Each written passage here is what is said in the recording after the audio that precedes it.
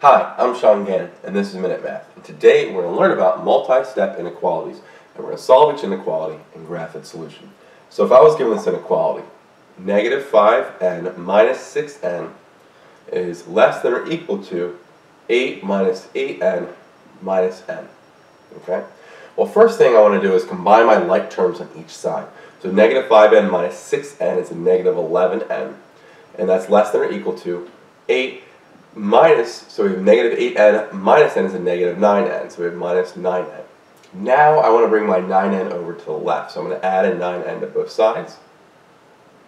Negative 11n plus 9n is a negative 2n, and that's less than or equal to 8, which is just there on the right. Now I want to divide by negative 2 to both sides.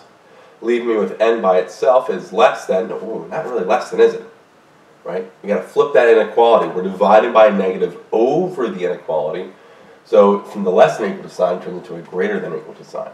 8 divided by negative 2 is a negative 4. And now we have our answer. n is greater than or equal to a negative 4, so I need to graph it. So graph it here. Put 0, 2, 4, 6, 8, negative 2, negative 4, negative 6, negative 8. Okay? Well, if n can equal a negative 4, we're going to put a closed circle right there at negative 4. And since n is greater than negative 4, also, we put the arrow to the right.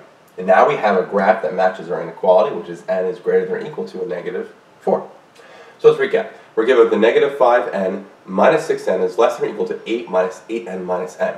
I combine my terms on each side, giving me a negative 11n on the right, and 8 minus 9n on the left. Uh, sorry, negative 11 on the left, and then 8 minus 9n on the right. I add a 9n to both sides, giving me 8 by itself on the right, and then negative 11n plus 9n is a negative 2n on the left.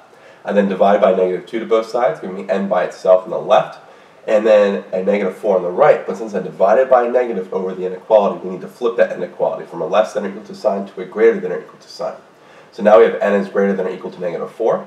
I need to graph that. So in my graph here, I said, okay, it's a closed circle because n can equal a negative 4. Right, so closed circle right there at negative 4. And we put our arrow to the right because we said n is also greater than negative 4. So now we have a graph that matches our final answer, which is n is greater than or equal to a negative 4.